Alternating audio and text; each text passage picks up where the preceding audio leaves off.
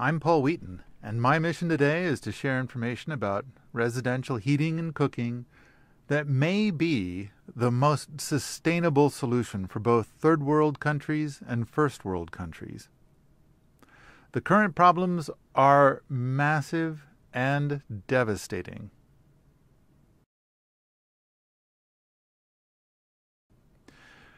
Twelve years ago, I heard about an attempt to solve this with solar ovens. The result was that the effort didn't quite fit the culture. Rocket stoves were introduced that would do cooking with one tenth the wood and about a hundredth of the smoke. Not a perfect solution, but a strong step in the right direction because it fit the culture.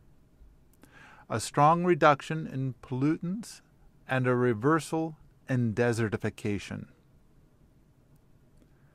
The rocket stove technology was modified to work as a source of residential heat called a rocket mass heater.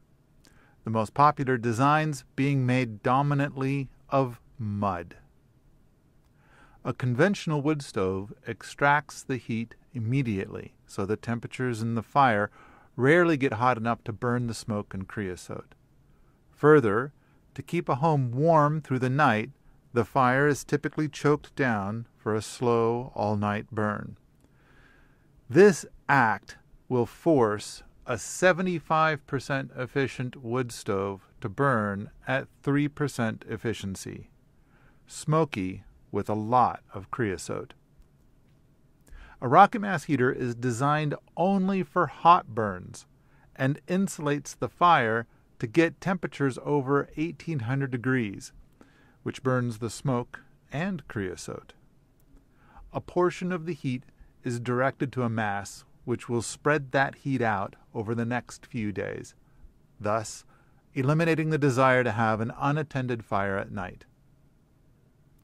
Rocket mass heaters started entering homes about 10 years ago. We're discovering several optimizations every year for both first world countries, making them more handsome, and for third world countries, exploring ways to build them from materials found in the local landscapes. The amount of wood required to heat a home through an entire winter is so small it could be collected from the branches and twigs that naturally fall from a few nearby trees. In this video, we built a rocket mass heater as part of an outdoor demonstration in an hour and 10 minutes. You can see the fire burning, and not only is the exhaust clear, but. Do you smell anything? No, I, I, a little, I mean, a little, I smell smoke, smell, but not, there's, you know. It's like not, yeah. but yeah, you're obviously not getting smoked right. out there. Right. How many people would stick their face into the smoke coming out of a conventional wood stove. the average carbon footprint for electric heat in Montana is 29 tons. To heat that same home with a rocket mass heater is 0.4 tons. Scaling this solution to a billion people would solve climate change. We are re exploring the use of this technology with cooking but this time routing the exhaust outside. Rocket cooktops and rocket ovens. There is nothing proprietary here. This information has been shared freely. We are also re exploring some low tech building designs that use the heat from the summer to heat a home through winter, and conversely, cool a home in the summer as the heat is stored. Naturally, this form of winter heat has zero pollution of any kind.